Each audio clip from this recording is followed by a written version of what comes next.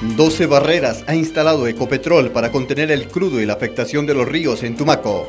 Se anunció un proyecto para las mujeres víctimas de la violencia sexual en Nariño. Estudiantes de medicina se concentraron para reclamar que se apruebe la ley para el pago de salario a médicos residentes. Ministerio de Minas y Energía mantendrá el subsidio a los combustibles para el departamento de Nariño. La gobernación de Nariño comprometió esfuerzos para seguir trabajando en la zona de influencia del volcán Galeras. El Hospital San Pedro pone a disposición una nueva unidad móvil para la donación de sangre. Conciliadores en Equidad solicitan se les dote de los elementos básicos como un computador y papelería para poder realizar su trabajo. En nuestra sección de salud, con rayos láser se eliminan ahora las verrugas en Colombia. En Noticias de la Frontera, el gobierno ecuatoriano perdió contacto con el frente Oliver Sinesterra.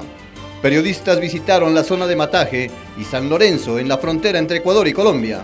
En nuestro panorama regional, las Fuerzas Armadas aseguran que no existen desplazamientos en la zona de Alto Mira y frontera.